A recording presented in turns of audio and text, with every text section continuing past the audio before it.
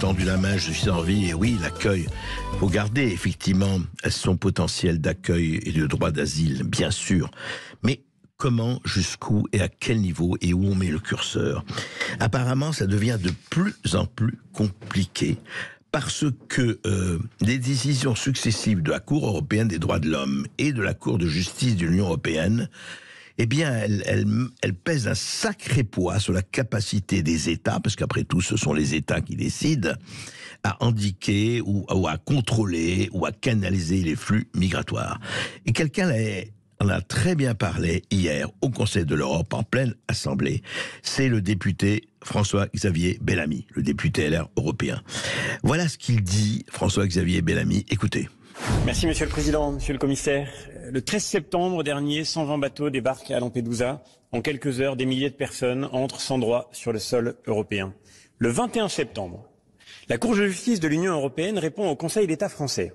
Un État membre n'a pas le droit de refouler hors de ses frontières une personne qui cherche à les franchir illégalement. Avant d'envisager une éventuelle expulsion, tenez-vous bien, il faut laisser un délai à l'intéressé pour qu'il quitte volontairement le territoire national. Le seul droit qui reste à nos États est donc de prier poliment les gens de ne pas violer leurs frontières et quand ils les franchissent par milliers, 330 000 l'an dernier selon Frontex, il nous reste la possibilité de les inviter à ne pas rester. Chers collègues, tout cela n'est qu'une preuve de plus que le droit européen s'est retourné contre le droit.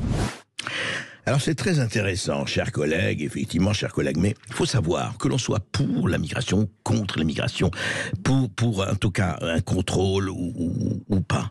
Ce qui est extraordinaire, on le voit aujourd'hui, c'est que l'Union européenne, eh bien c'est elle qui décide de tout.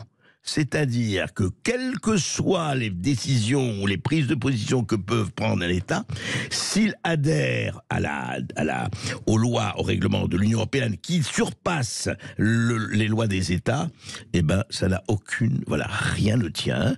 Eh ben, écoutez, vous n'avez absolument pas le droit de faire remigrer qui que ce soit, d'expulser qui que ce soit, de faire bouger qui que ce soit. Sinon, c'est cette personne qui doit décider de sa propre volonté si elle a envie de rester ou de partir. Mais enfin, ils viennent pourquoi Et je comprends. Et si vous étiez effectivement érythréen, Somalie, etc., bien, bien, bien sûr que vous avez envie de venir.